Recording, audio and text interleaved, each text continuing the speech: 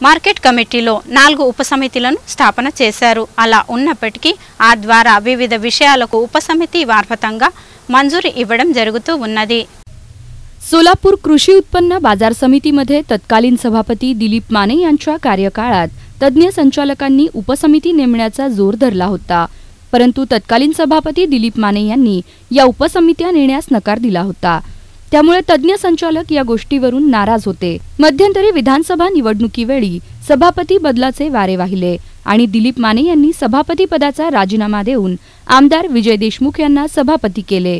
त्यानंतर मार्केट कमिटीमध्ये अनेक घडामोडी घडल्या असून त्यातीलच ही महत्वाची घटना असल्याचे सांगण्यात येते.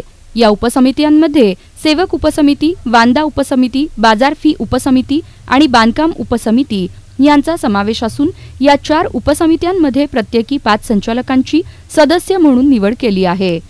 बाजार समितीचे सभापती आणि उपसभापती हेच या चारही उपसमित्यांचे सभापती आणि उपसभापती हे कायम असणार आहेत.